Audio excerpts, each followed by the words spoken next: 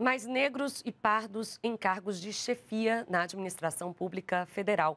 Esta é a meta de uma parceria interministerial que pretende acelerar a formação e capacitação de lideranças negras, além de combater o racismo.